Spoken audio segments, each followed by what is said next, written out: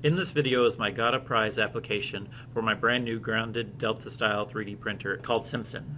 I received much inspiration from seeing the RepRap Morgan and Rostock. These printers had unusual geometry. Most typical printers have rails oriented in the X, Y, and Z axes and these printers decided that that wasn't that important. We have software that can account for all of that nowadays. And so they made drastically different machines and really paved the way for different thought. And I love both of those projects. There are some downfalls that um, that I thought you know we could we could extend this thinking and take it even further. So I was thinking both of these designs don't have a low center of gravity, so I think that's a must. They also had linear rails, and uh, from my experience building uh, CNC machines, linear rails are one of the most expensive parts of the machine. So if you get rid of that and replace those with radial bearings, then you would have a much, much cheaper design. I also thought it would be very important to have a static bed. It's always nice not having to move your part. You can build bigger, heavier things. You could also scale up to printing much, much larger things where you can bring the printer to something. Want it to be cheap and printable. My initial concept used belt. Um, I, I, put it on the forum and I immediately started getting lots and lots of feedback from people in the RepRap community which led me to this series of design iterations. You can see that um, the uh, my first my first iteration wasn't too much different. I just kind of cleaned up the design so it was a little bit more printable. And then Anorak on the forum came up with the idea of using spring return, driving it a block and tackle of string and uh, this ended up to greatly simplify the math and made it easier to run the string. And so you can see here it is a little bit more fleshed out, upper right, the bottom left, you can see I actually built it. Uh, it looks a little different than the picture, but uh, pretty much the same. It works beautifully, except that there's five millimeters of play in the end effector, which could be great for some applications, but for 3D printing, uh, it's not good enough. And bottom middle, you can see here, I attempted to solve the problem with just adding parallel linkages to mirror all of the arms that I had in this initial design.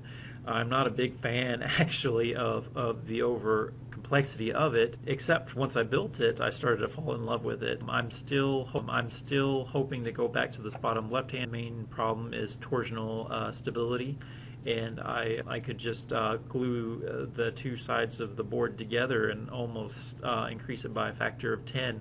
So that would be an easy thing to do. Maybe that's enough to get it below uh, 0.1 millimeters, which would be would be a nice goal. I knew that the parallel linkages would work, and I wasn't sure if I was going to get the other one to work. So for this competition, I decided to go ahead with the parallel linkages, and that's what you see on the bottom right and you can see also see its first three squirrel prints. Uh, features of this printer, I only use M3 and M8 hardware. I only use two types of bearings. I only use two types of bearings, uh, 608 bearings, which are just typical skate bearings, inline skate bearings, and 6805 bearings, which are uh, bike wheel hub bearings. And um, there are no electrical end stops, which save on firmware complexity and electrical complexity. You just turn the uh, the motors off, and the machine will automatically return to its top dead center position. It can print bigger versions of itself, very quiet, except for the plastic squeaking on its on each other and I have plans to to remove that. It uses off-the-shelf parts. You can see uh, if you go to my Thingiverse site, there is a bill of materials with the vendors and it has a maintenance-free glass bed. The build envelope is 10 liters. You can see that it has a kind of a triangular area at the bottom, but it's approximately a 350 millimeter diameter area that you can print on. It's about 190 millimeters tall. That I think is actually almost a perfect build uh, envelope. I wasn't expecting it, but um, a lot of times I want to do a lot of little parts, so this will let me do lots. And sometimes I want to do something that's really tall, and that'll let me do this. Hardly ever do I need to print something that's really big, that's a cubic shape. Can easily do six inch cube. I use Slicer's default speed. The printer performed beautifully. I did did some tweaks for the the Bowden tube, but other than that, the uh, printer performs wonderfully. I can I've gotten it up to greater than 200 millimeters per second. I'm not too interested in, in, seeing exactly how fast it can go because I know I can't print that fast. Realistically, probably I can print up to 90 millimeters per second, but I have printed it at 60 millimeters per second with with really good uh, quality results. Um, let's see, it's 40% plastic by volume. 30% of this machine is the wood and the glass. 13% of the volume is from nuts and bolts and bearing. There are 341 different parts. 59 of those are plastic. There are 54 unique parts and 24 unique plastic parts. So uh, let's see, the cost is about $390. About 270 is in electronics, and about 120 is in, in the mechanical setup. Uh, I broke that down to $43 of bearings, $23 of plastic, and $17 of nuts and bolts. As you can see, there's not much room at the bottom um, for the mechanical system. Pretty much everything that needs to be done in the future for price reduction is all in the electronic setup. The power requirements I thought I should talk about here. I haven't actually measured it, but I have calculated what the draw would be, and it's approximately 60 watts if I don't have the heated bed on. That's uh, 10 watts about for each stepper and about 20 watts for my um, hot end whenever it's being run at 24 volts. I should take this opportunity to talk about leveling. Um, I had to do it manually. I took a bunch of sample offsets from regular intervals all over the print bed. I used linear regression to fit that surface, and then I used um, a G-code preprocessor to apply all these Z corrections whenever I was doing the coordinate transformation. I hope to embed all of that in the firmware in the future, but for now it works pretty good and it's only one more step in the tool chain. It will take approximately 53 hours if, if I can print at 33 milliliters per hour. That's about 1.75 liters of plastic.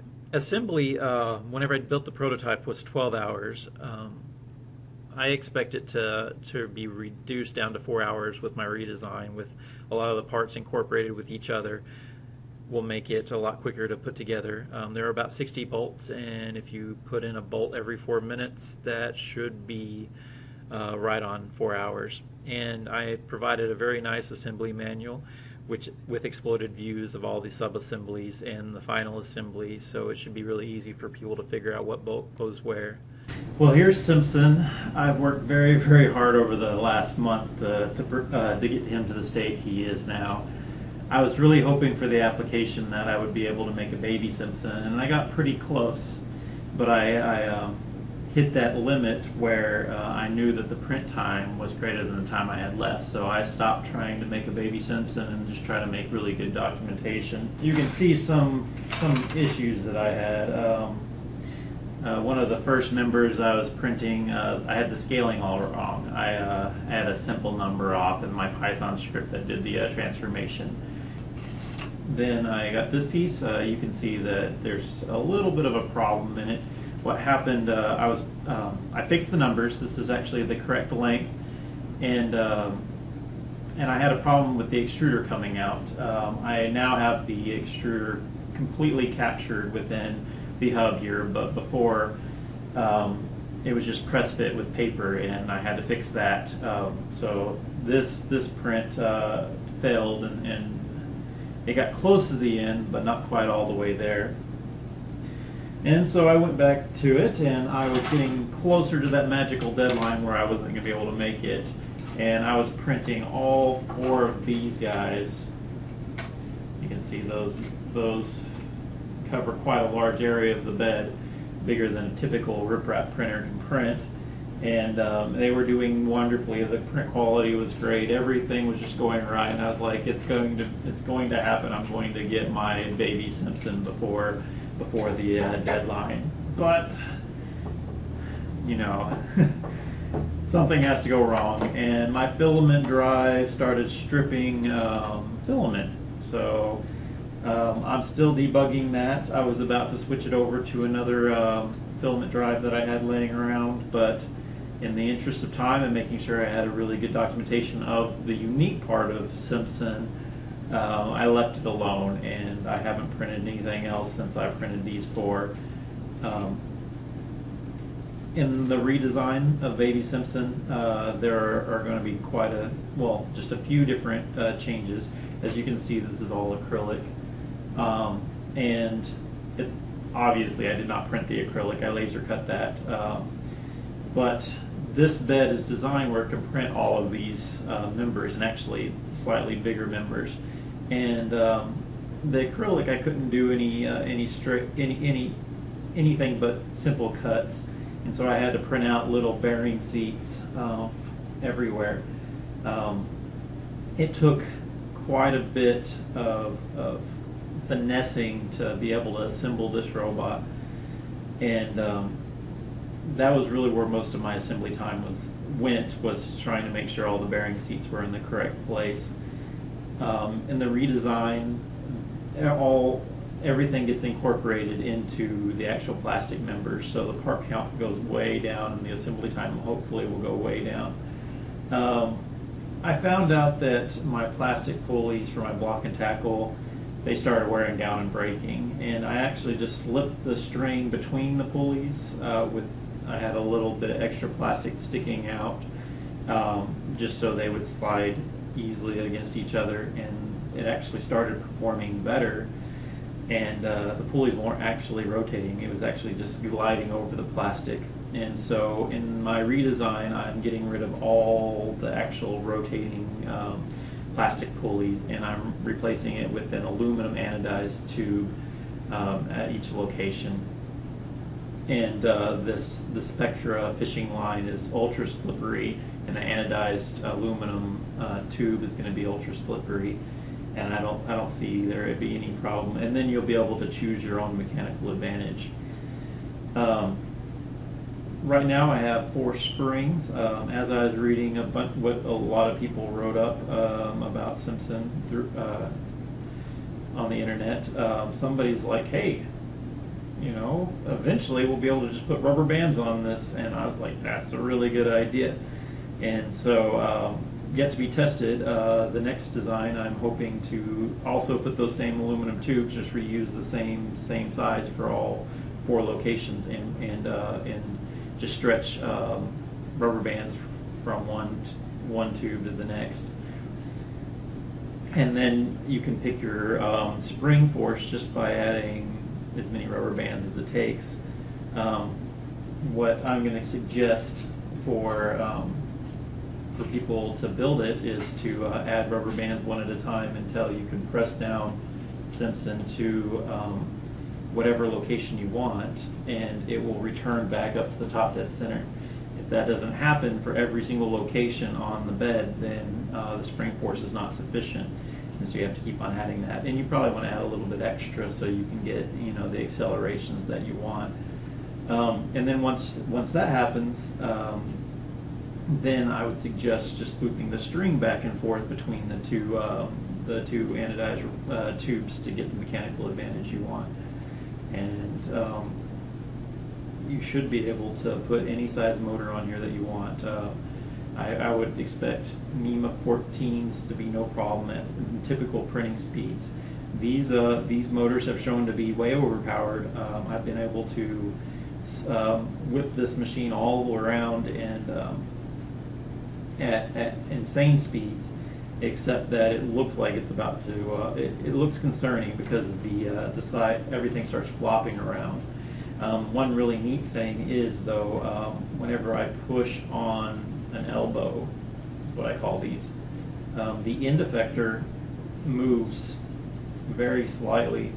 Um, in this configuration, it actually is moving, um, but whenever it's lower, and I've actually, during a print, I've pushed this up to five millimeters, and it has, um, it hasn't even affected the print quality, which is pretty phenomenal. But um, people are going to be concerned whenever they see things flopping like this, and um, so uh, I just set the acceleration values uh, in the firmware, so it doesn't it doesn't get to where this is flopping around so much. Again, I wish I had a, a, rep, a self-replicated uh, version of Simpson. I think since I've only been working on this for a month and I'm already getting pretty good results, uh, there's still some tweaks here and there that I need to do. uh, I think it's all but inevitable that uh, Simpson's going to uh, replicate and become a true member of the RepRap community. Here are all my resources for Simpson. The RepRap Wiki has a page for Simpson. I also put all the files at Thingiverse, and I have a link to the development forum with a wealth of information throughout the whole design process. Thank you so much for your consideration.